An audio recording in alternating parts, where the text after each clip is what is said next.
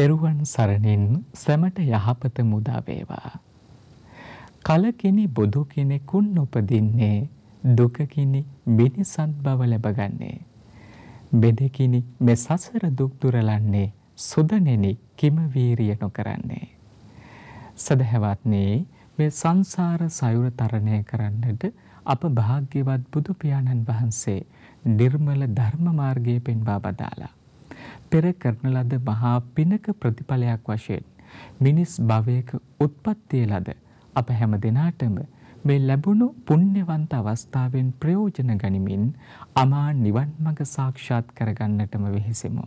සදහවත්නි ඒ වෙනුවෙන් ඔබට වීරවන්ත වන්නට මඟ පෙන්වා දෙන ಜಾති බොදු නාලිකාව බෞද්ධ ආරෝප වාහිනිය ඔබේම හිතසුව පිණිස සමීප කරන මෙම ධර්මානුශාසනාව ඓතිහාසික රොහුණු පුරවරයේ තිස්ස මහරාම හොඳ හිත සිතුවිලි මැදුරෙහි සිට ආරම්භ කරන්නටයි සූදානම් වන්නේ. සදහැවත්නේ මෙම සුමතුර ධර්මදේශනා පවත්වන්නට සිදු කළ ආරාධනාව පිළිගනිමින් දම් සභා මණ්ඩපයට ගෞරවයෙන් වැඩමවා වදාළ පින්වත් ස්වාමීන්ද්‍රයන්න් වහන්සේ මාතර ඇලවිල්ල පාර ශ්‍රී පුෂ්පාරාම පිරිවෙන් විහාරවාසේ ශ්‍රී පුෂ්පාරාම් පිරිවෙනෙහි ගරු පරිවේනාධිපති දොහරේන පණ්ඩිත පූජ්‍යපාද යටිකල ඥානසිරි පින්වත් ස්වාමීන්ද්‍රයන්න් වහන්සේ අපි හැම දෙනාම සාදුනාද පවත්වමින් নমස්කාර පූරකව පිළිගනිමු. සාදු සාදු සාදු. මේ මුතුම් ධර්මදේශනාවේ පුණ්‍යවන්ත දායකත්වයෙන් කටයුතු කරනු ලබන්නේ තිස්ස මහරාම ලූක්ස් ගොඩ ලිපිනෙහි පදිංචි BKH ගුණවතී මහත්මිය එම මෙතිනියගේ දූදරුවන් වන උමයංගනී දමයන්තේ ශාන්ත චමින්ද ග්‍රේලී සහ නදීකා යන පුණ්‍යවන්ත හැමදෙනාමත් එම පවුලේ ඥාති හිත මිත්‍රාදී හැමදෙනාමත් විසින්. එහෙමනම් අපි හැමෝම කෙරෙහි අනුකම්පා පෙරදැරිව මෙතැන් සිට එම උතුම් ධර්මදේශනා පවත්වන්නට ගෞරවනීය ස්වාමින් වහන්සේට පාද නමස්කාර පූර්වකව ආරාධනා කරමු. අවසරයි අපේ හාමුදුරුවනේ සාදු සාදු සාදු සමන්ත චක්කවාලේසු අත්‍රා ගච්ඡන්තු දේවතා සද්දම්මං මුනි රාජස්ස සුනන්තු සග්ග මොක්ඛදං ධම්මසවන කාලෝ අයං බදන්තා ධම්මසවන කාලෝ අයං බදන්තා ධම්මසවන කාලෝ අයං බදන්තා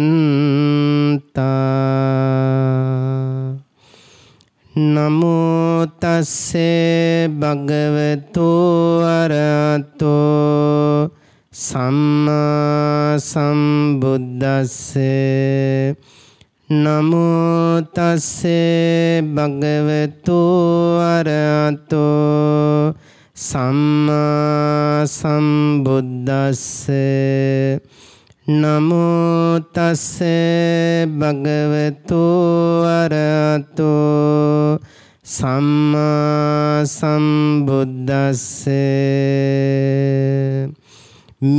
මිත්තේ භජස්සු කල්යානේ පන්තංච සයනාසනං විචිත්තං අපනිඝෝසං මත්තඤ්ඤෝ හෝහි භෝජනේති.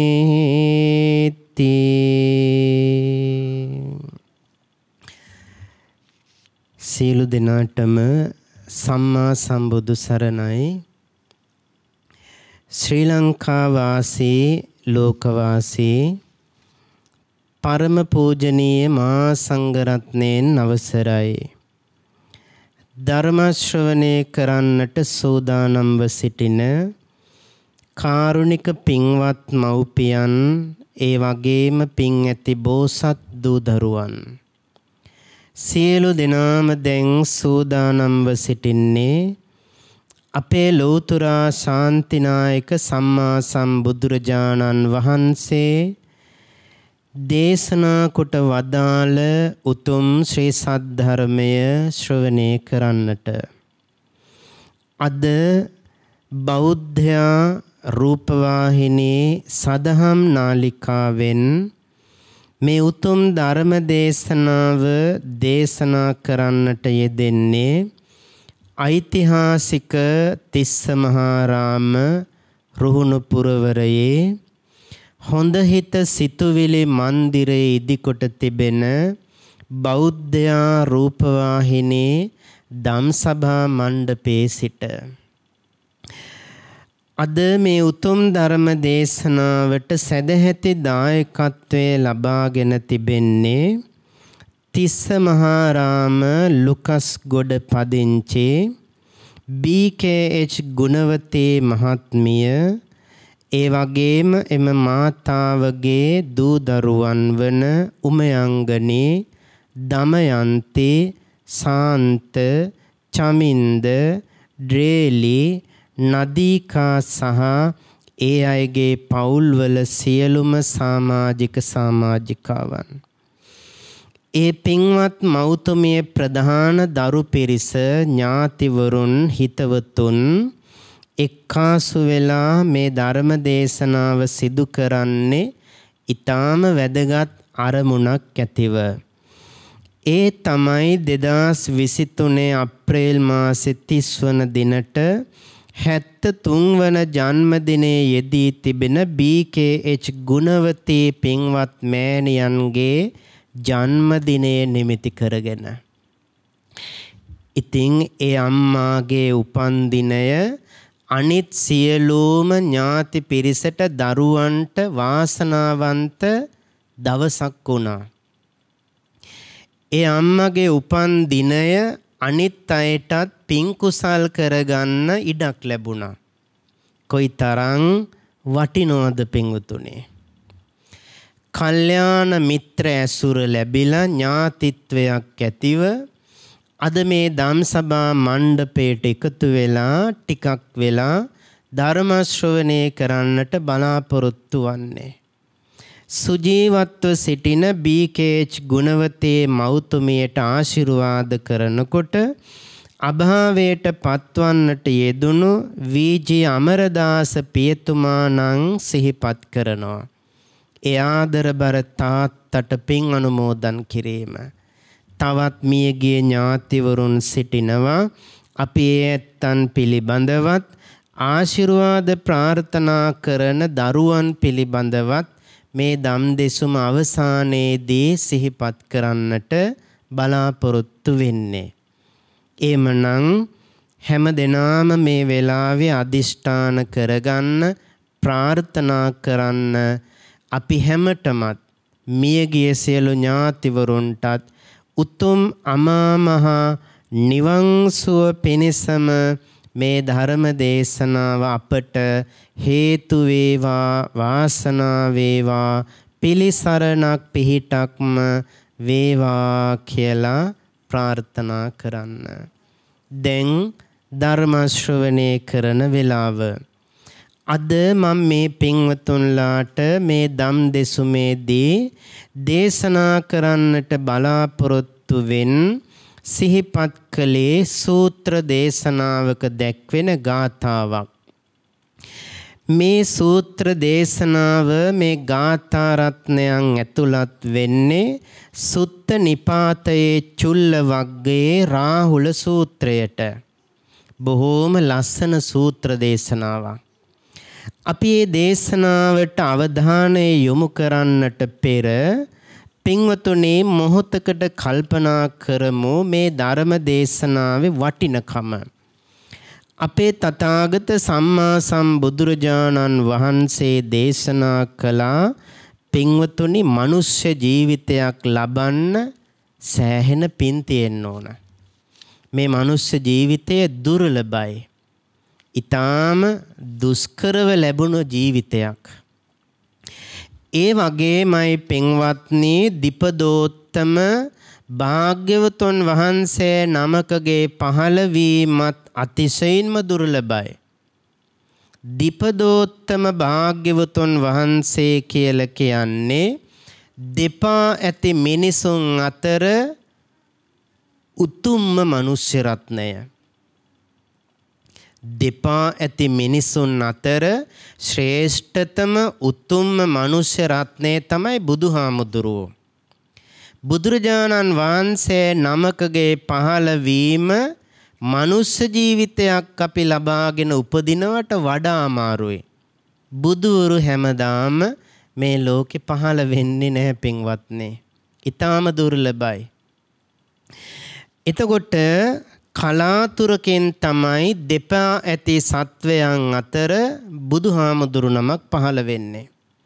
මා මේ පින්වතුන්ලාගේ අවධානය ගෙනියන්නට කැමති මේ දෙපා ඇති මිනිසුන් අතර සමහරු කොහොමද ජීවත් වෙන්නේ කියලා ටිකක් සිහිපත් කරලා දෙන්නට.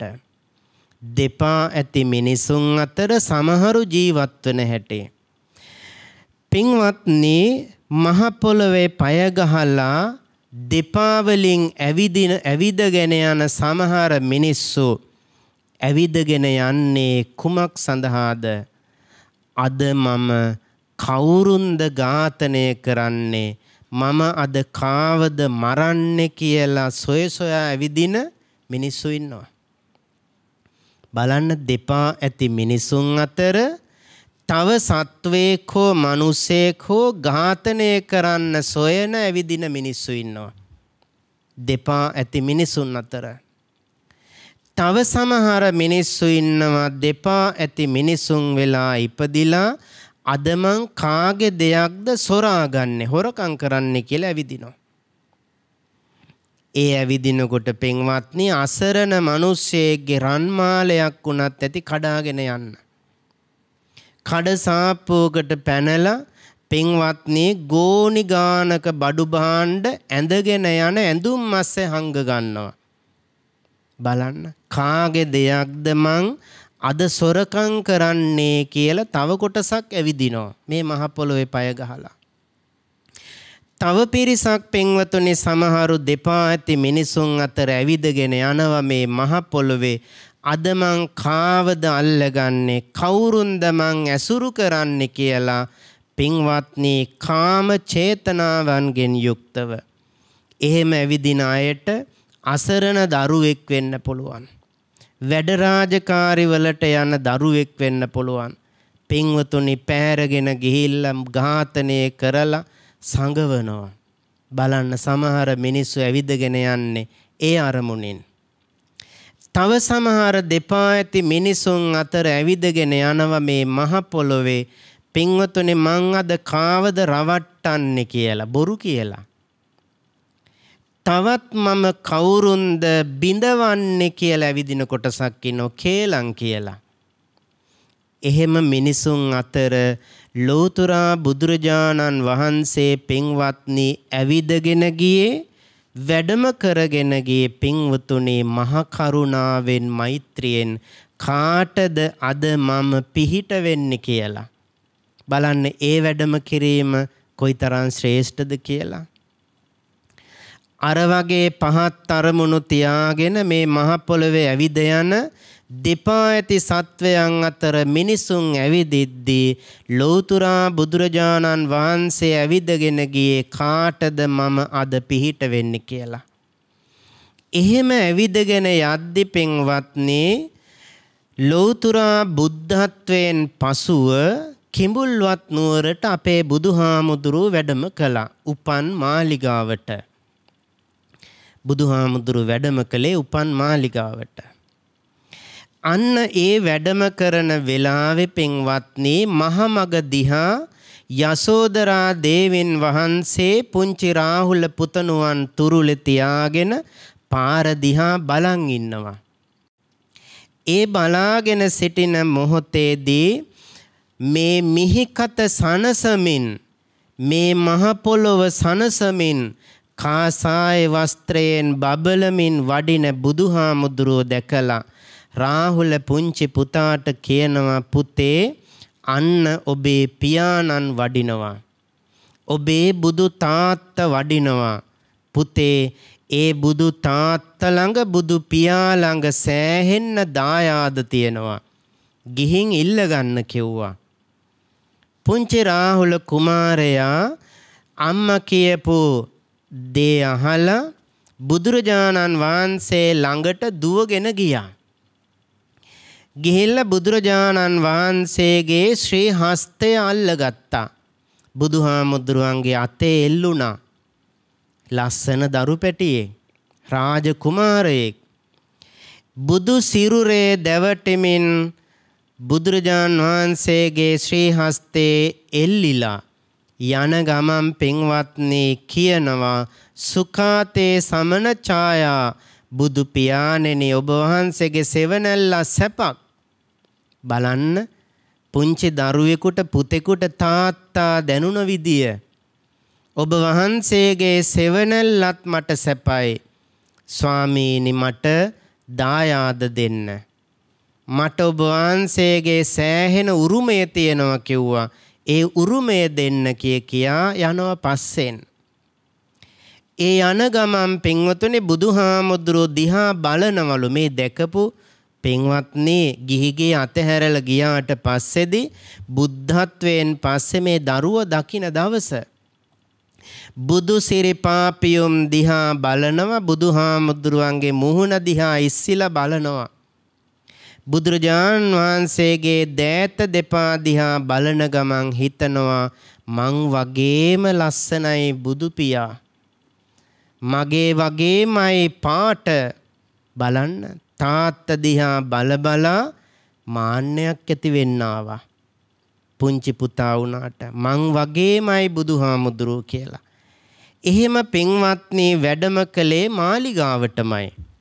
බුදුරජාන් වහන්සේ මාලිගාවට වැඩම කරලා දන් පැන් වළඳලා වඩින්න සෝදානම් වෙනකොටත් උරුමය ඉල්ලාගේ රාහුල කුමාරයා ළඟට වෙලා ඉඳලා තාත්තේ යනකොට පස්සෙන් ගියා. බලන්න ඉතින් මේ පුංචි දරුවෝ වගේම තමයි. තාත්ත බැහැලා යන්නේ කොහේද ගෙදරින් මාත් එනවා කියලා අඬාගෙන යනවනේ පස්සෙන්. මේ පුංචි රාහුල පුතා බුදුරජාණන් වහන්සේගේ පසුපසින් ගියා. උරුමේ ඉල්ලගෙන. ඒ වෙලාවේ පින්වතුනි ආරාමයටම එක්ක ගියා. එක්ක ගිහින් සෑරියුත් මහරහතන් වහන්සේට කියනවා සාරිපුත්ත මේ පුංචි රාහුල මගෙන් උරුමේ ඉල්ලනවා දායාද ඉල්ලනවා දෙන්න තියෙන උතුම්ම දායාදේ තමයි මා සතුව තියෙන්නේ පැවිද්ද. මේ රාහුලට ඒ උතුම්ම දායාදය දෙන්න. සාරාසංඛ්‍ය කල්ප ලක්ෂයක් මා දුක් විඳ පෙරුම් පිරුවේ පාරමී පිරුවේ මේ දායාදේ ලබන්න. මේ රාහුල පුතාටත් ඒ දායාදේම දෙන්න වෙන දෙන්න දෙයක් නැහැ. සැරියුත් හාමුදුරුව මොකද්ද කළේ? පුංචි රාහුල කුමාරයා පැවිදි කළා. සුද්ධෝදන මහරජතුමා මාලිගාවේ පාළුව දැනිලා මුණුබුරා නැති තැන යසෝදරාව කියනවා තාත්තේ රාහුල ගියා ගියාමයි තාම නෑ බලන්න ටිකක් ආරාමයට ගිහිල්ලා පින්වතුනි සුද්ධෝදන රජතුමා ගියා ඒ යන ටිකටත් පැවිදි කරලා දැක්කම දුකක් ඇති වුණා. ඇයි දුකක් ඇති වුණේ? නන්ද කුමාරයා ගැන බලාපොරොත්තු තියාගෙන හිටියා. රාහුල කුමාරය ගැන බලාපොරොත්තු තියාගෙන හිටියා. දෙන්නම නෑ දැන් පැවිදි වෙලා. දුකක් වේදනාවක් ඇති වුණා. ඒ වෙලාවේ කියනවා ස්වාමීනි මේ අපරාධයක් කළේ. හිත හදාගත්තේ මේ දරුව දිහා බලලා. ඔබ වහන්සේ ගිහිගේ අත්හැරලා ගියාම හිත හදාගන්න බැරුව හිටියේ. නමුත් ඒ පුංචි පුතත් දැන් මාලිගාවේ නෑ. ස්වාමීනි මින් මත්තේ නම් දරුවන් පැවිදි කරන්න එපා අම්මා තාත්තගෙන් විමසන්නේ නැතුව.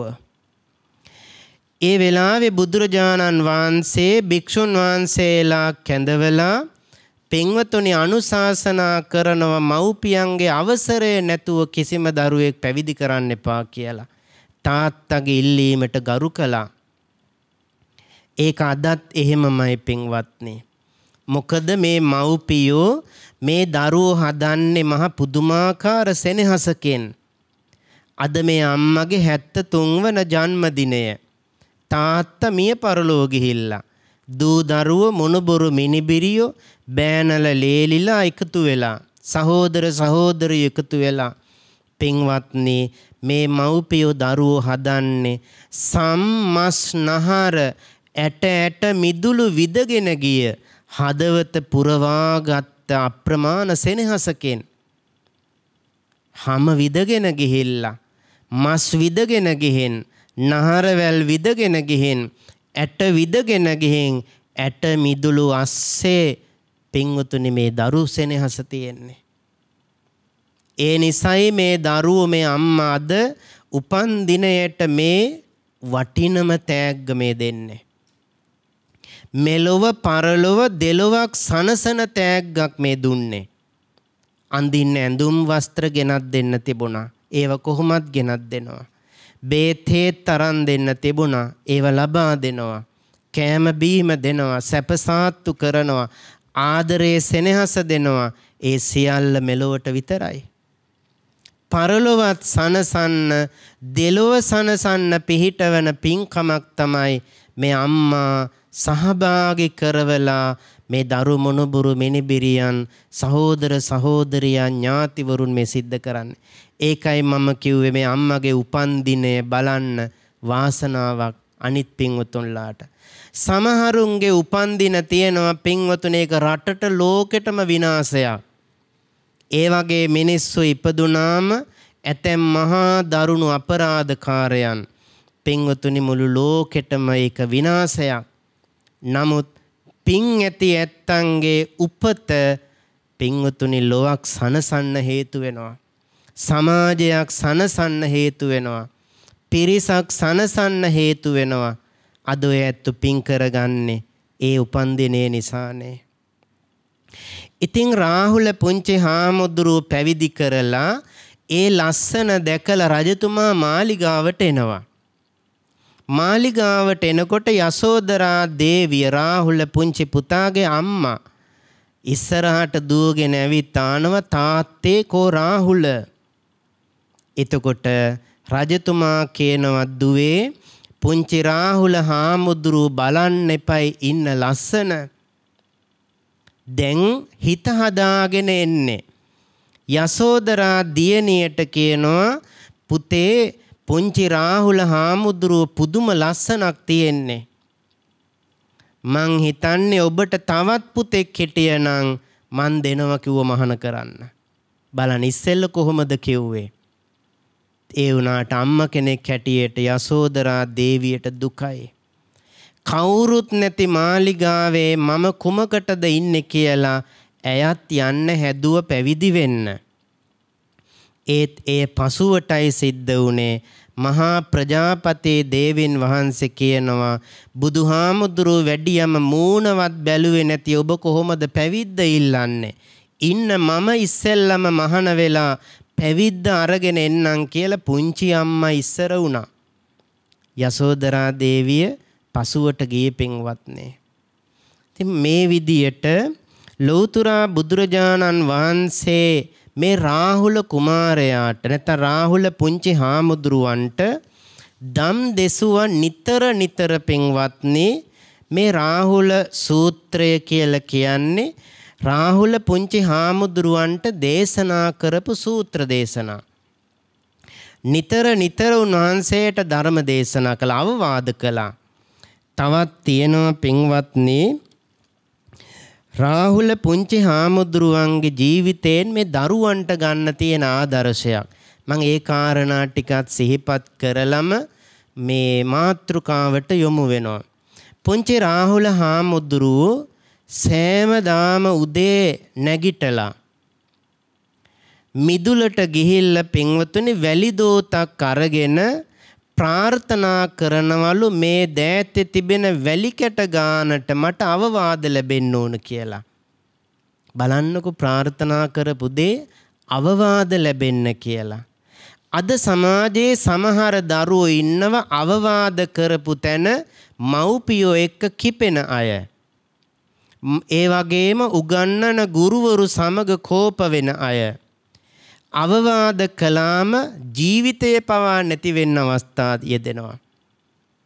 ඇතැම් අවස්ථාවල ඔබ දැකලා තියෙන අවවාද කළාම ජීවිතේට හානියක් කරදරයක් වේවි තවත් කෙනෙකුට කරදරයක් වේවි ඔය තරම් වේගයෙන් මෝටර් සයිකල් පදින්න එපා කිව්වම ගහලා මරනවා අවවාදයට කිපෙන මිනිස්සු ඉන්න එතකොට එය අවවාද ප්‍රාර්ථනා කරන අය නෙවෙයි අවවාද කළාම කෝපයට පත්වෙන මිනිස්සු ඉන්නවා ළමයි ඉන්නවා නමුත් රාහුල පුංචි හාමුදුරුවෝ හැමදාම ප්‍රාර්ථනා කළේ මේ වැලි කැට ගානට මට අවවාද ලැබෙන්න කියලා.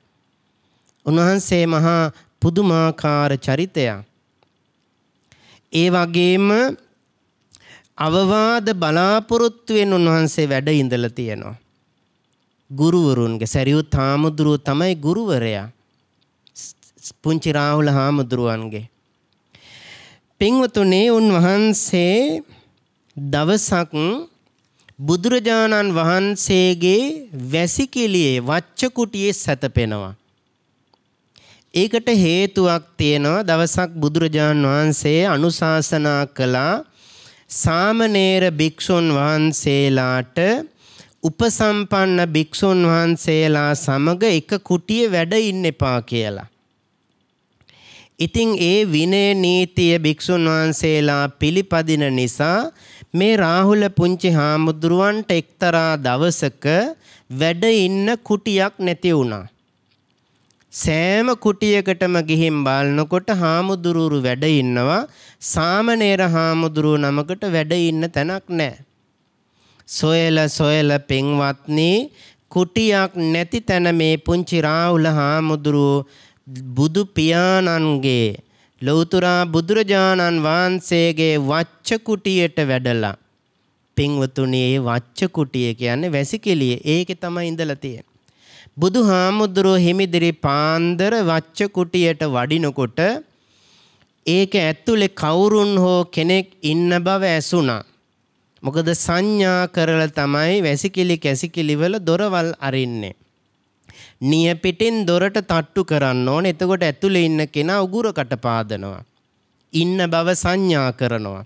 ඉතින් පුංචි හාමුදුරුවෝ එහෙම සංඥා කළාම බුදුරජාන් වහන්සේ ආනවා කවුද මේක ඇතුලේ? ස්වාමීනි මම රාහුල. රාහුල ඔබ වහන්සේ මේක ඇතුලේ කුමක්ද කරන්නේ? ඊට පස්සේ එළියට ඇවිත් වැඳගෙන කියනවා ස්වාමීනි ඔබ වහන්සේ විනය නීතියක් පැනෙව්වා උපසම්පදා භික්ෂුන් වහන්සේලා සමග වැඩ ඉන්න එපා කියලා සාමණේර හිමිවරුන්ට මට වැඩ ඉන්න තැනක් තිබුණේ නැහැ. පින්වතුනි එළිය හීතල දරා ගන්න බෑ. ඉන්දියාව කියන්නේ කාලෙකට මහා සීතල රටක්නේ. සීතල දරා ගන්න බෑ. ඒ සීතල සුළඟ වදිනකොට ඉවසන්න බැරි තැන තමයි මේ වච්ච කුටියට ගිහින් වැඩ හිටියේ. බුදුහාමුදුරුවන්ට ධර්ම සංවේගයක් ඇති වුණාලු. බලන්න ලෞතුරා බුදුහාමුදුරු වැඩ සිටිද්දිත් මේ පුංචි සාමණේර හිමිවරුන්ට මෙහෙමනම් මගේම පුතාට රාහුලටත් මෙහෙම වුණානම් මතු පැවිදි වෙන සාමණේර හිමිවරුන්ටත් කාගේ පිහිටක්ද කියලා ධර්ම සංවේගයට පත් වෙලා එදාම සැරියුත් මහරහතන් වහන්සේ ප්‍රමුඛ භික්ෂුන් වහන්සේලා රහතන් වහන්සේලා රැස් කරලා අර විනය නීතිය ලිහිල් කළාලු පින්වත්නි.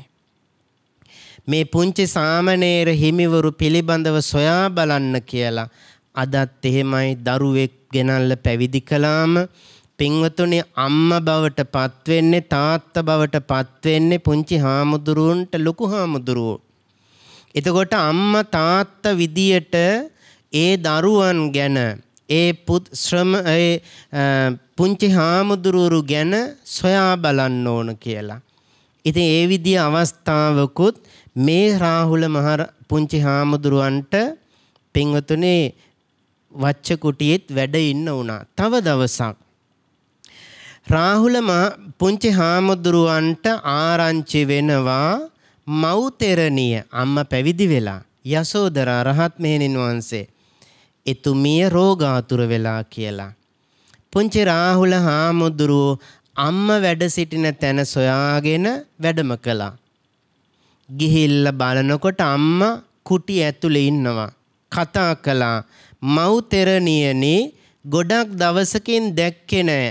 ඒ නොදැක්ක නිසයි බලන්න ආවේ. අසනීපයක්ද කියලා ඇහුවා. එතකොට කියනවා මේ අම්මා යසෝදරා රහත් මෙහෙණින් වහන්සේ පුංචි රාහුල හාමුදුරුවනේ මගේ ගොඩක් දවස් ඉඳලා බඩේ රුදාවක් තියෙනවා. කුසේ අමාරුවක් තියෙනවා. බඩේ වේදනාවක් තියෙනවා. ඒක ඉවසන්න බැරුවයි මේ ඉන්නේ. එතකොට මේ රාහුල හාමුදුරු අහනවා අම්මේ එවැනි රෝගයක් කලිනුත් ඔය වගේ වේදනාවක් මීට පෙරත් ඇති වෙලා තියෙනවද කියලා. ගිහි ගෙදර ඉඳෙදි ගිහි කාලේ එහෙම ඇති වෙලා තියෙනවකුව බඩේ රුදාව. ඒ වෙලාවට ගත්ත ප්‍රතිකාරය මතකද කියලා ඇහුවා.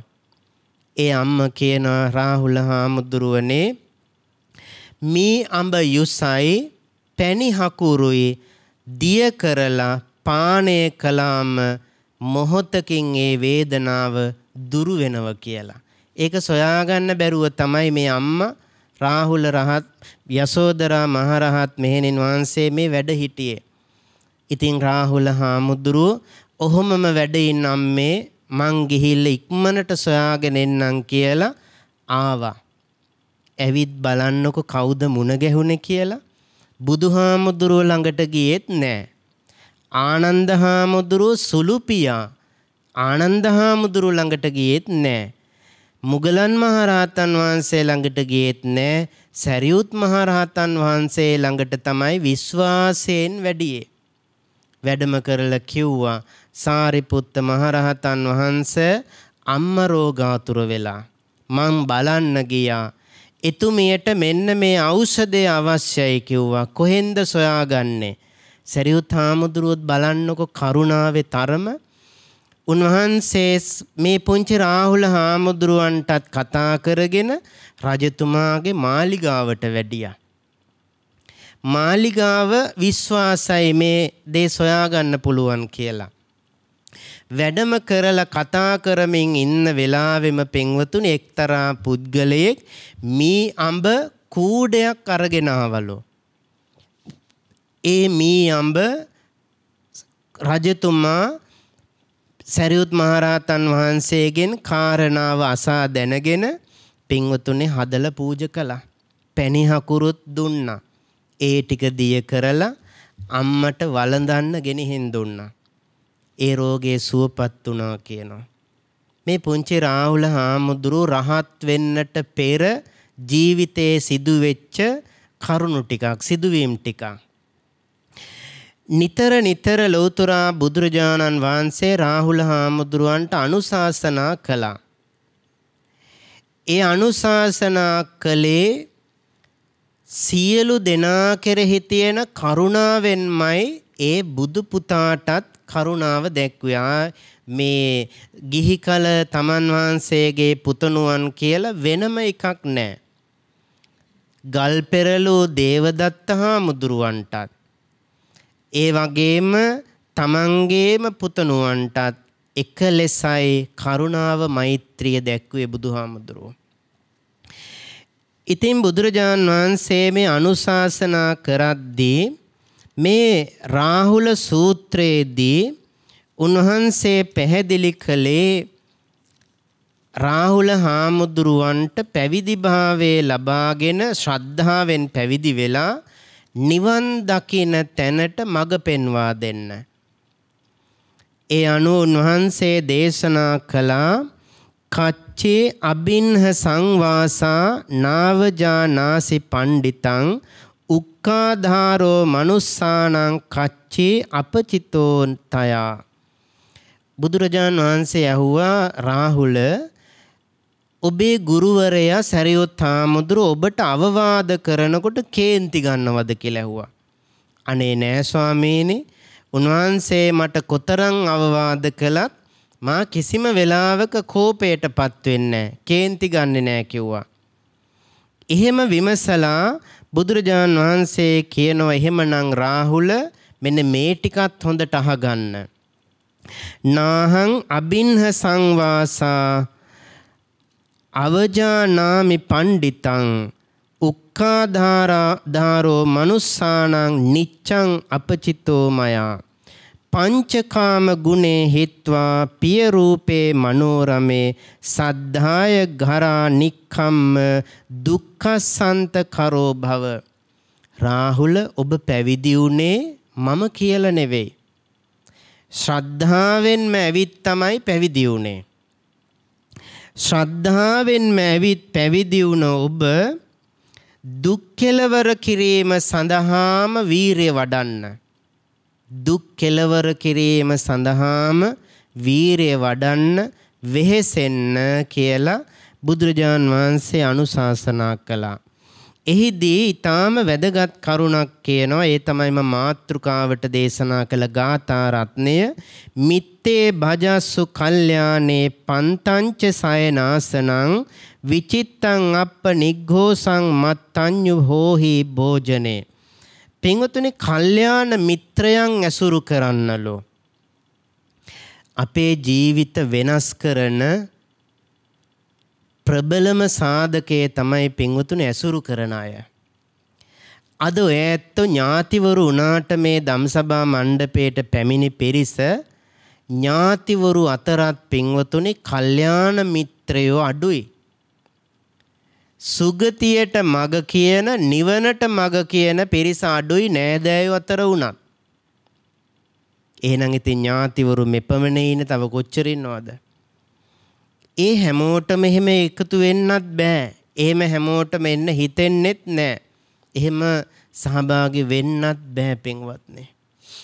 කල්යාණ මිත්‍ර ඇසුර ජීවිතය වෙනස් කරන්න නිවනටත් අදාළයි. අපි ඇසුරු කරන අය. කල්යාණ මිත්‍ර ඇසුර නැති තැන ධර්ම ශ්‍රවණයකුත් නැහැ. කල්යාණ මිතුරන් කියලා කියන්නේ මේ නැති වෙලාවට සල්ලි දෙන අය නෙවෙයි. මගදි හම්බුනාම hina වෙලා කතා කරන අය නෙවෙයි. අවුරුද්දට ගෙදරට එන අයත් නෙවෙයි. මගුලට අවමගුලට එන අයත් නෙවෙයි. පින්වතුනි වරදින් මුදවගෙන සුගතියට නිවනට මඟ පෙන්වලා යහපතේ යොදවන අය. නැත්තම් ඉතින් තව කොච්චර යාළුවෝ ඉන්නවද? ඔය තරම් වේදම් කරන්නේ මොකටද? ඕකෙන් අපි පාටියක් දාමු කියන්න පුළුවන් නෑදෑයොත් ඉන්නවා. කල්යාණ මිත්‍රයොත් ඉන්නවා. මේ අම්මගේ උපන්දිනේට මේ වියදම් කරපු මුදලින් දෙතුන් සීයකට කන්න බොන්න දෙන්න තිබුණ එක වේලක් කියලා හිතන්න පුළුවන් අයත් ඉන්නවා. ඉතින් එහෙම දෙයක් කළාට ඒක සුගතියට මගක් නෙවෙයි මොකද ඒක දාන අරමුණකින් නෙවෙයි කරන්නේ. කෑම ටිකක් දෙයි පිං රැස් වෙයි දාන චේතනාවක් නැහැ. සිතේ ප්‍රසන්න බව නැහැ. මේ අද තියෙන සිතෙහි ප්‍රසන්න බව කුසල් අරමුණක පිහිටලා තියෙන නිසා අද තියෙන්නෙම කුසල් අරමුණක් ඔබේ සිතේ. එතකොට මේ කරන පින්කම කල්යාණ මිත්‍ර ඇසුර නිසා සද්ධර්ම ශ්‍රවණය කරන්නේ.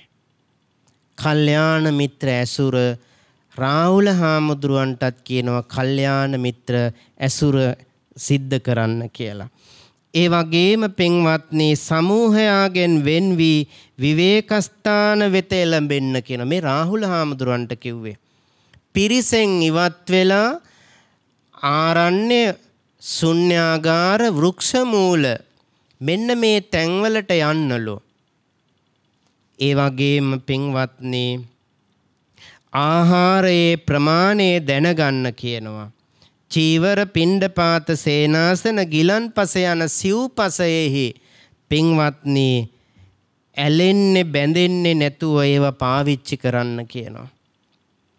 බලන්න මිනිස්සුන් පින්වත්නි තෘෂ්ණාවෙන් බැඳෙන තැන් මේ බැහැර කරන්න කියන්නේ.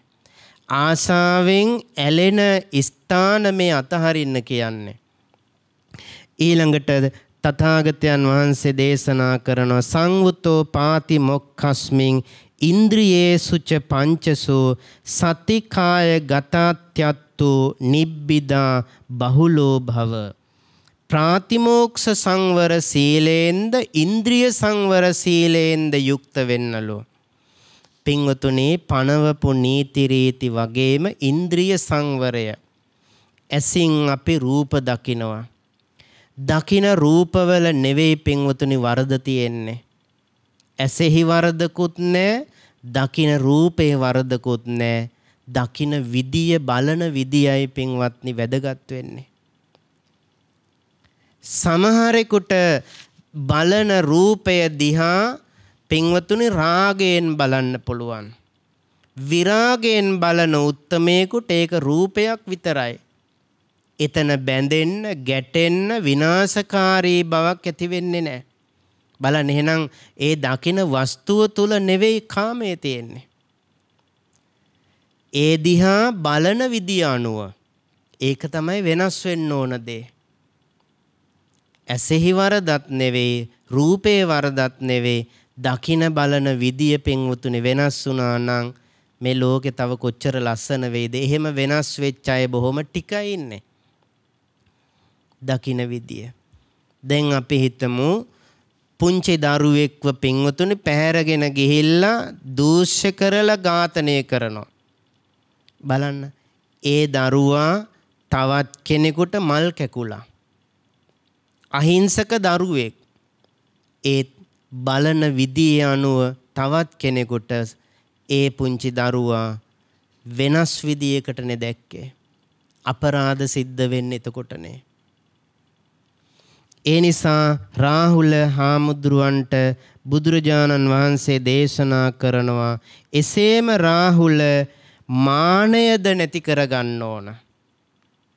මේ අධික මානයක් මේ හිත්වල තියෙන. මොකද රාහුල හාමුදුරුවොත් ශාක්‍ය වංශයේ. ඉහළම උසස්ම රජ පෙළපතක දරුවෙක් මානය තියනවා වෙන්න පුළුවන්. මිනිස්සු ළඟ පින්වතුනි මානය තියෙනවා. නිර්හංකාර බව ඊටාම් එක එක්කෙනාගේ වෙනස් විදියට තියෙන්නේ අඩු වැඩි විදියට නමුත් මානය නැති කරපු කෙනෙක් නෑ රහත් වෙනකම් මානය තියෙනවා ඉතින් ඒ මානය තියෙන එක ඊටාම නරක දෙයක්. කෙලෙස් ධර්මයක් මේ හිතේ හටගන්න. මානයේ තියෙනකොට මිනිස්සු බලන්න මේ සමාජයේ පින්වතුනි අම්ම තාත්ත ළඟ වඳින්නේ නැති අය ඉන්නවා. අම්ම තාත්ත ළඟ දන ගහන්නේ නැති අය ඉන්නවා වඳින්න පුදන්න. මානය. ගුරුවරුන්ට වඳින්නේ පුදන්නේ නැති අය ඉන්නවා. වැඩිහිටියන්ට වඳින්නේ নমස්කාර කරන්නේ නැති අය ඉන්නවා. පූජනීය උතුමන්ට වඳින්නේ নমස්කාර කරන්නේ නැති අය ඉන්නවා.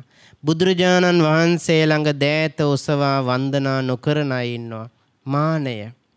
දනගසා නොවඳින අය ඉන්නවා. එහෙම වැන්දත් ඒක හරි අපරාධයක් වගේ හිතන අය. බැරිකමට එහෙමත් අය ඉන්නවා. පුළුවන් අයත් ඉන්නවා. දනගසා নমස්කාර කරන්න පුළුවන් අය ඒක තමන්ගේ හීන මානයක් හැටියට සලකලා පින්වතුනි තමන්ගේ තනතුරු ගැන හිතලා ඒ විදියට කටයුතු කරන අය. තව දෙයක් තියෙනවා පින්වත්නි මේ සාමණේර හාමුදුරුවෝ නමක් සමාදන් වෙන්නේ දස සීලය. අපේ අම්මල තාත්තල සිල් සමාදන් වන දවසටත් දස සීලේනේ සමාදන් වෙන්නේ.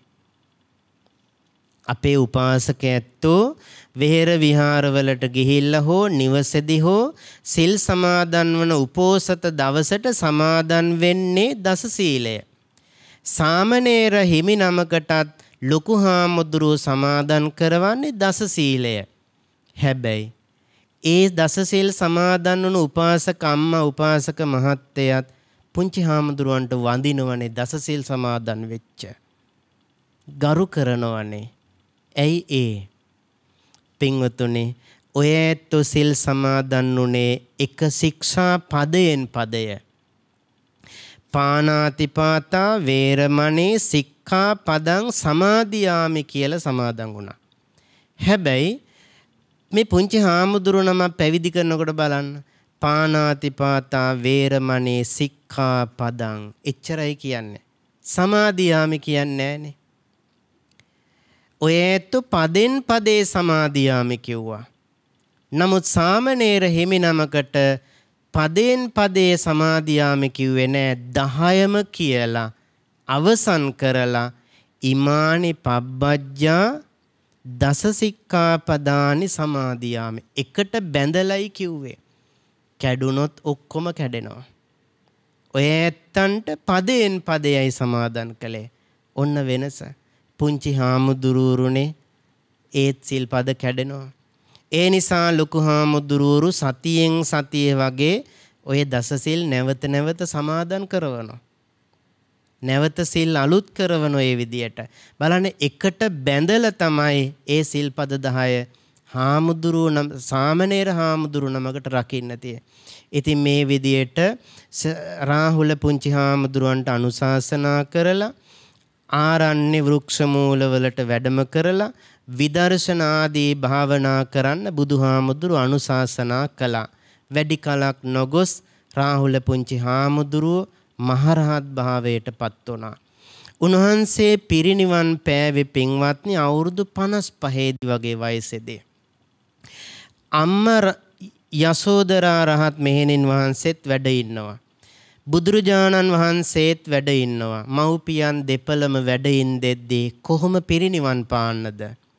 ඒ නිසා උන්වහන්සේ දෙවියන්ගේද ආරාධනාව ඇතිව දෙව්ලොවට වැඩම කරලා පින්වතුනි පිරිනිවන් පාලා තියෙන්නේ.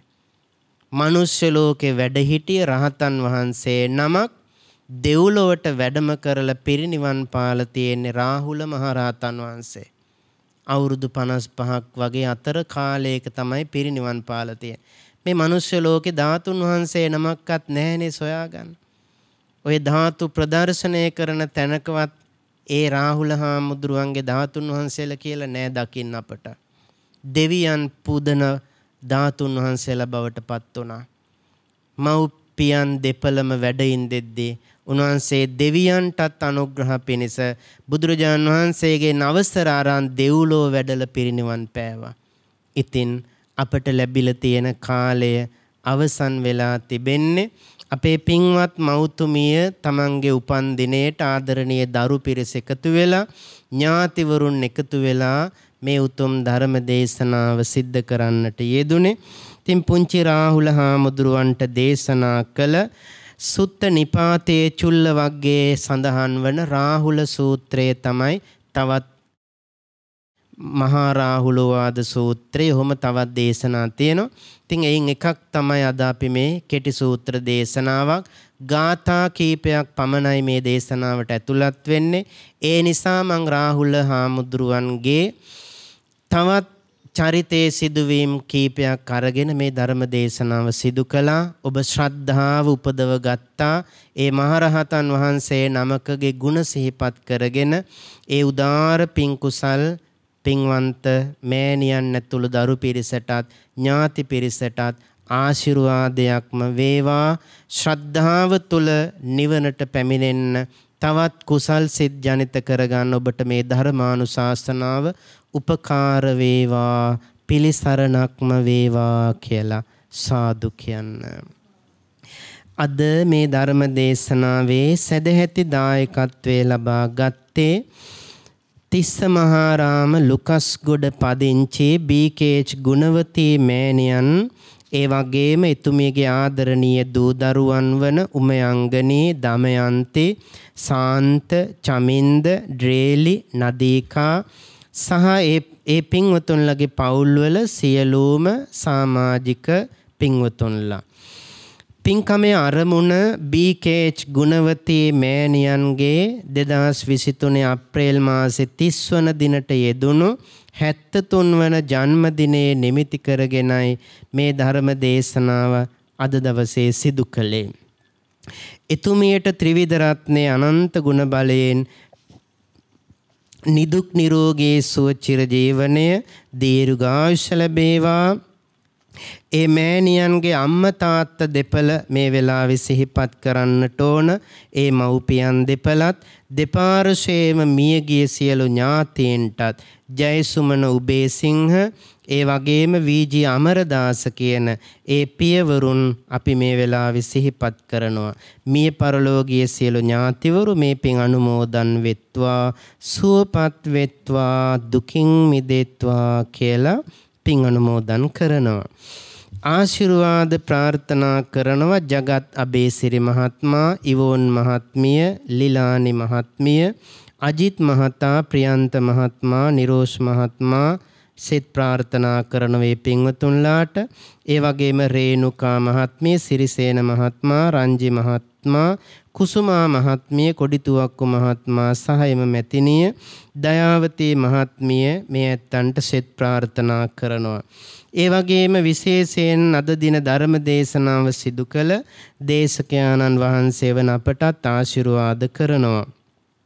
අධ්‍යාපනය හදාරන පුංචි දරුවන්ට ආශිර්වාද කරනවා චේතන ඒ වගේම ගෙත්මික යොමුරු සත්ස්විඳු එසේම හෙසඳු යන පුතණුවරුන්ටත් යෙලනි විනුති මෙසඳි ඒ වගේම යුනේසි යන දියණිවරුන්ටත් ඒ වගේම පවුලේ සියලු දූ දරුවන්ගේ අධ්‍යාපන කටයුතු සාර්ථක වේවා කියලා ආශිර්වාද කරනවා. අද දින මෙම ධර්ම දේශනාවට පැමිණ ධර්ම ශ්‍රවණය කළ සියලු දෙනාටමත් සදහම් ඇසූ ශ්‍රී ලංකා වාසී ලෝකවාසී සැමටත් ආශිර්වාද කරනවා. අවසාන වශයෙන් අපි සිහිපත් කරනවා මේ උතුම් ධර්ම දේශනාව ඓතිහාසික තිස්ස මහාරාම රුහුණු පුරවරයේ තිස්ස මහාරාම හොඳ හිත සිතුවිලි මන්දිරයේ සිටයි මේ ධර්ම දේශනාව පැවැත්වුවේ අපේ හොඳ හිත මැතිතුමා මානව තිලක වර්ෂහැන්න දිගේ පින්වත් මැතිතුමා විශේෂයෙන් අපි සිහිපත් කරන්නට ඕන මේ ස්ථානයේ බෞද්ධයා රූපවාහිනී ගුවන් විදුලි නාලිකාවට නොමිලේම ලබා දීලා එතුමාගේ නිවස බුද්ධ මන්දිරයක් දම්සභා මණ්ඩපයක් බවට පත් කරලා ලෝකයට ධර්ම ප්‍රචාරය කරන්න උතුම් බුදුබණ මේ ලෝකයට ප්‍රචාරය කිරීමේ උතුම් සත්චේතනාවෙන් එතුමා මේ ස්ථානයේ පරිත්‍යාග කරමින් පූජා කරමින් ධර්ම දේශනා පවත්වන දේශකයාණන් වහන්සේලාට දන් පැන් ගිලන්පසාදී පූජා කරමින් සියලු පහසුකම් අපටත් දායකයන්ටත් ලබා දෙනවා. ඉතින් ඊටාම ලස්සන පුදබිමක් බවට පත්වෙලා තිබෙන මේ ස්ථානයේ ධර්මදේශනා සිය ගණනක් මේ වෙනකොට පවත්වපු ස්ථානය. අඩි 127ක් පමණ උස නෙළුම් බුදුකුළුණක් මත ලෞතුරා බුදුරජාණන් වහන්සේ මුළු තිස්ස මහාරාමේ දෙසම කරුණා මෛත්‍රී netin බලාගෙන ඉන්න මේ පුදබිම තුල සිටයි ඔබ මේ සදහම් දේශනාව ශ්‍රවණය කළේ. දකින අසන හැමෝම බුද්ධාලම්බන ප්‍රීතියෙන් සැනසෙන තැනක්. අපේ මානව තිලක වර්ෂහැන්න දිගේ මැතිතුමාට හොඳ හිත මැතිතුමාටත් බෞද්ධයා කාර්ය මණ්ඩලයේ සැමටත් නිතර වෙහෙස මහන්සි වන බෞද්ධයා කාර්යාලයේ සේවය කරන අපේ නීල් මහත්මයා ලහිරු මහත්මයා ඇතුළු සෑම දෙනාටමත් නිදුක් නිරෝගී සුව සම්පත්තිය ලැබේවා. උතුම් ධර්ම අවබෝධයම වේවා. නිවන් සුවය ලැබේවා. ආකාසට්ටා ච බුම්මට්ටා දේවා නාග මහිද්దికා පුඤ්ඤන්තං අනුමෝදිත්වා. චිරං රක්칸තු ලෝක සාසනං චිරං රක්칸තු දේශනං චිරං රක් රක්ඛන්තු ත්වං සදා ධර්ම ශ්‍රවණේ කිරීමෙන් ලබන ලද උතුම් කුසලානිසංස බලයෙන් මියගිය ඥාතීන්ට සියලු දෙවියන්ටත් ඔබ අප සෑම දෙනාටමත් උතුම් අමා මහ නිවන් සුවයම අවබෝධ වේවා.